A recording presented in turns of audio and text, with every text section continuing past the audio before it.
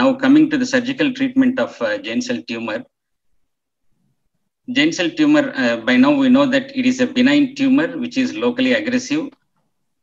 It is one of the most common musculoskeletal tumor and however still it is most controversial tumor and most debated tumor. The, coming to the surgical treatment principles, there are mainly two uh, ways of uh, looking at it by principles aggressive intralesional curettage or uh, wide resection. Wide resection has got a recurrence rate from 0 to 16%. Aggressive intralesional curettage with or without a bone filler like bone allograft, bone autograft, or uh, application of cement have got a recurrence rate from 8.6 to 16%. And this can be combined with with or without uh, adjuvant therapy also. By looking at the Campanacci grading, uh, the uh, recurrence rate by in Campanacci 1 and 2 is up to 7%. And most of the 1 and 2 can be treated by curettage uh, treatment. Most of them are amenable for simple curettage. However, in Campanacci 3 grade, which has got a recurrence rate of up to 29%, they've got a high recurrence rate and requires wide resection of the tumor. And when we perform surgeries in recurrent lesions, the recurrence rate again goes up to 34%. And adjuvant therapy is most of the is might be required in most of these patients. When we look at the adjuvants that are available now for the treatment, the phenol, hydrogen peroxide, argon beam coagulation, cryosurgery, alcohol, and cement, they are the frequently used uh, adjuvants after intralesional curettage. However, their additional value continues to be debated.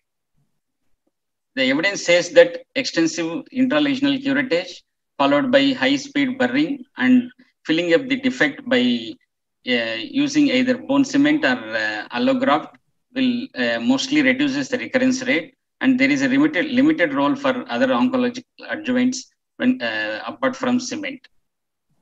Coming to the important steps, how to do intralesional curettage, First, we need to have adequate exposure of the lesion, followed by large cortical window to access the tumor from uh, all uh, corners of the tumor.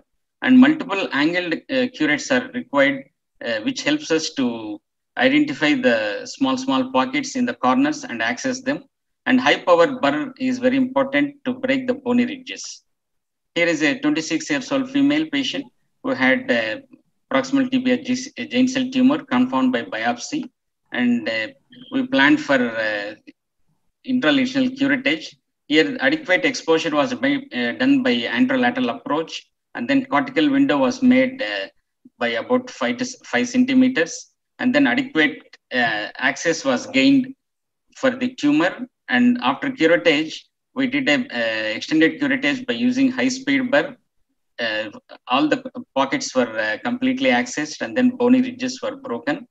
And here the high speed burring it helps in uh, it helps the in decreasing the recurrence rate by causing thermal effect which uh, in turn causes additional removal of one millimeter of uh, the margin and helps in uh, decreasing the recurrence rate.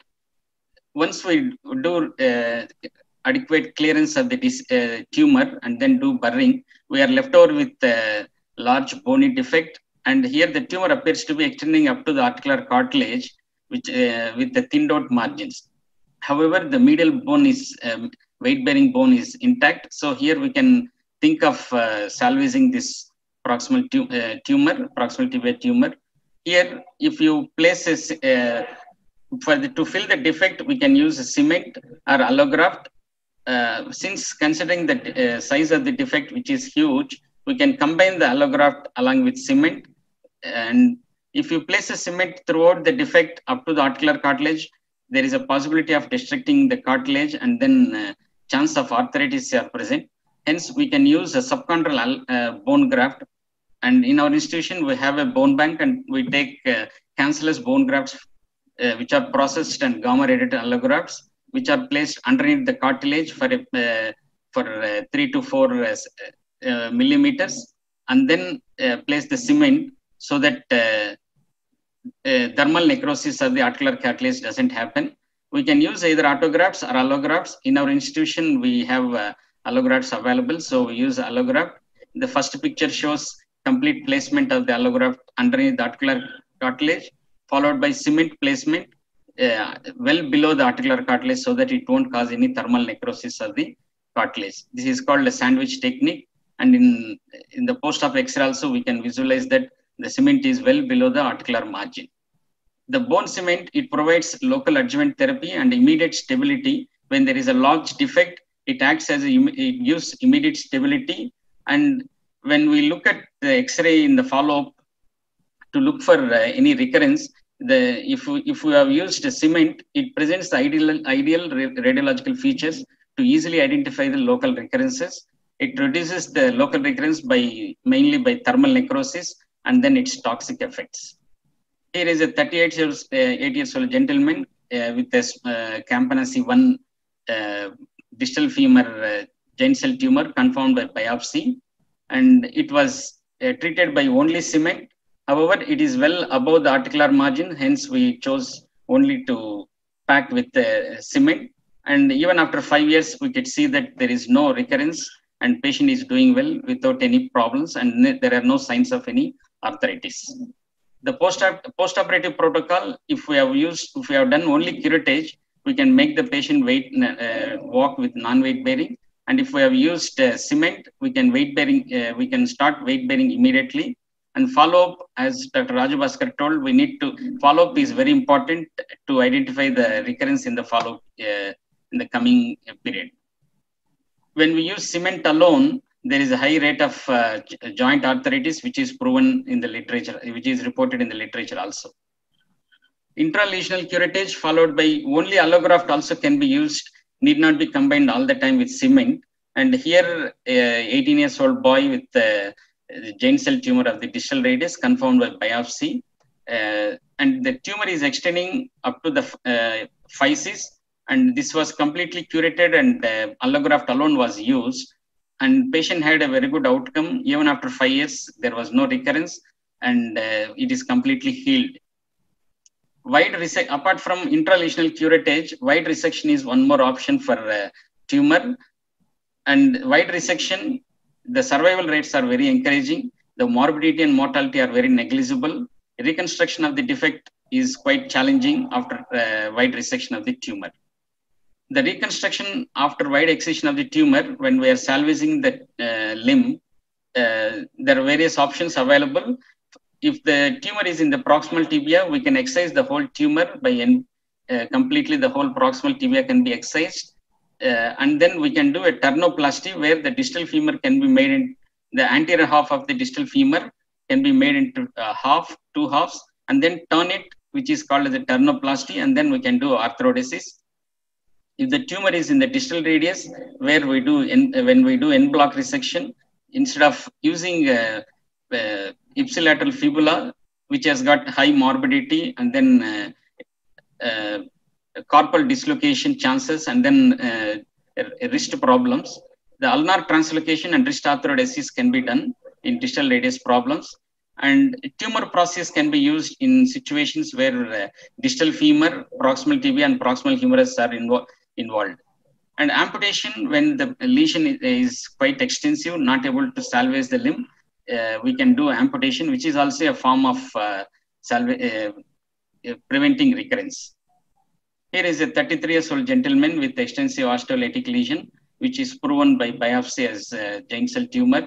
It is quite aggressive tumor. CT scan shows very limited bone stock, expansion, and also the cortices are quite thinned out in this situation, we can do a turnoplasty like this, where the proximal tibial lesion was completely uh, removed, en bloc resection was done, followed by turnoplasty, and then uh, nail arthrodesis was done, and it is done uh, five years ago, and there was no signs of recurrence so far.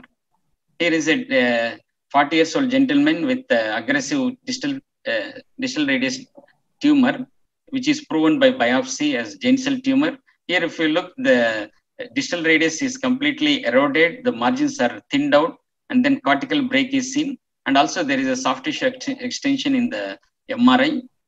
In, in uh, the various options are available to reconstruct uh, this kind of uh, tumors. Once we remove complete whole distal radius, we can use ipsilateral fibula or allograft distal radius or translocation of the uh, wrist and uh, one bone forearm reconstruction between ulna to wrist.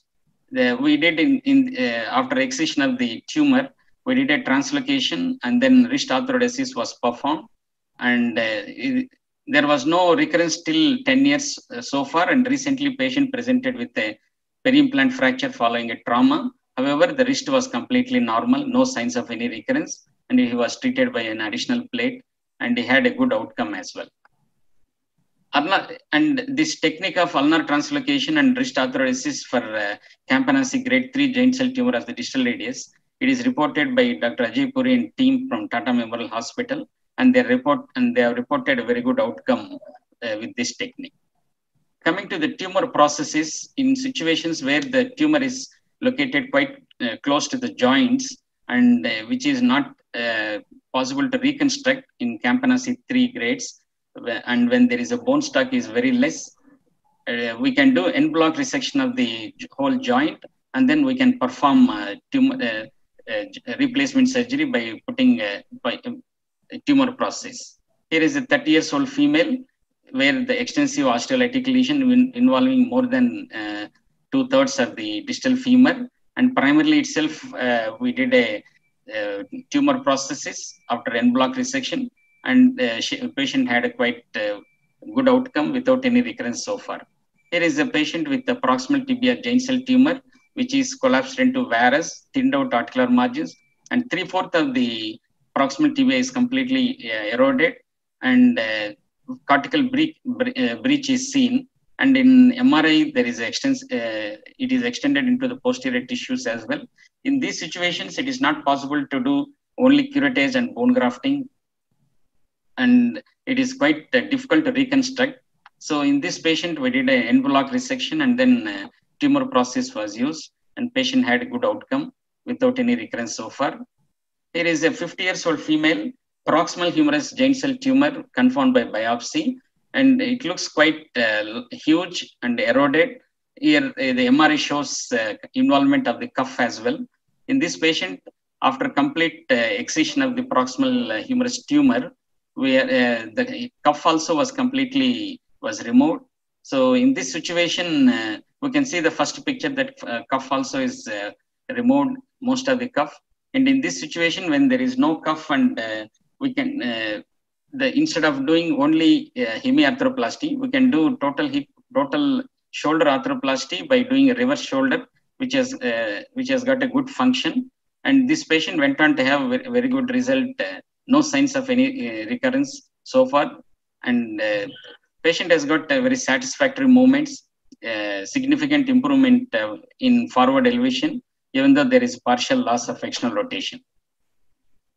Now, having seen the technique of intralesional curettage and then cementing and with sandwich techniques, and then wide resection and primarily doing joint replacements and salvage of the uh, limb by turnoplasty let us see how to treat a recurrent lesion also. Here is a patient with uh, 37 years old male, distal femur uh, giant cell tumor and the medial, mainly involving the medial femoral condyle. Biopsy showed uh, giant cell tumor and it, it was quite uh, extensive and patient presented four months after the biopsy and it shows increase in size of the tumor. Uh, MRI also shows there is increase in the size of the tumor this is the clinical picture uh, showing the involvement of the medial femoral condyle. Completely it was curated and then uh, burring was done and thorough uh, curettage and high speed burring. And then uh, we, we tried to uh, give a chance by giving, uh, by trying a sandwich technique in this patient. Initially, allograft was placed underneath the cartilage, articular cartilage so that the application of cement doesn't cause any arthritis to the femoral, uh, femoral articular cartilage. And uh, this is the postoperative X-ray showing uh, well uh, curated and then uh, packed with cement. However, uh, and it was confirmed as a GCT following uh, curettage. And however, patient came back within a year duration with the recurrence of the same tumor, and it was confirmed by MRI. And the whole tumor was completely excised, and then uh, tumor prosthesis was placed and with a long stem. And uh, this is the final post-operative X-ray showing good position of the implants. And the whole specimen was sent for biopsy and showed the margins were clear completely and there are no signs of any recurrence so far. Here is a patient with a distal tibial uh, giant cell tumor, which was initially treated with curettage and uh, cement alone and presented with recurrence within uh, two years duration. Elsewhere treated initially and then advised for amputation.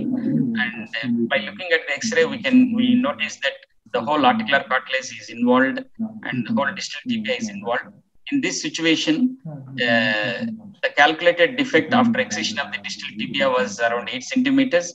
We decided to salvage without doing any amputation in this patient by removal of the whole tumor after thorough dissection. And then uh, the whole, the similar sized allograft was used to, uh, to, to match correctly the dome of the talus. And then retrograde nail arthrodesis was performed. Here the, the technique was very important throughout the length of the allograft uh, inside the medullary canal, the iliac crest grafts were placed so that the healing happens between the allograft and host bone proximally and distally. And in this patient, we uh, by two years, it was completely com completely healed without any problem. And uh, so far, uh, 10 years since the surgery, and there are no signs of any recurrence. Apart from this kind of salvage techniques, Amputation also needs to be performed in few patients with recurrence of the lesions uh, superadded by infections where, the, uh, where it is difficult to reconstruct or salvage the limb. Uh, this is a patient, a 40 years old gentleman uh, with a proximal tibial GCT, which was uh, the uh, CT scan shows completely thinned out cortices and then posterior extension also is seen. And the biopsy confirmed it as giant cell tumor. Initially, curettage and uh, attempt was made to salvage the proximal tibia by putting by doing a sandwich technique. However, uh, this patient went on to this is uh, immediate post-op X-ray. However, the patient went on to have recurrence within one year duration, and in this situation where the the proximal tibia cannot be salvaged, uh, amputation is also best choice to save the life of the, the life of the patient also. Here is a 25 years old uh, lady who presented with distal tibial uh, cell tumor, which was initially curated by us and used allografts and iliac grafts combined. However, a patient presented within three months' time with a recurrence and uh, followed by, uh, we treated by uh, distal tibial allograft and the complete en bloc resection of the tumor was performed. However, patient showed recurrence within nine months period and hence uh, we did a below-knee amputation in this patient. So to conclude, giant cell tumor, the treatment of giant cell tumor is remains uh, controversial still. Uh, the important steps are adequate curettage, filling the filling up the defect by using uh, uh, either bone cement or uh, sandwich technique by using allografts and autografts, and adjuvant therapy is very important. what is important is adequate clearance of the disease either by doing uh, intralesional curettage or by complete excision of the tumor. The challenge lies in the treatment of benign tumors is by balancing satisfactory recurrence rates with acceptable surgical morbidity. Thank you, sir.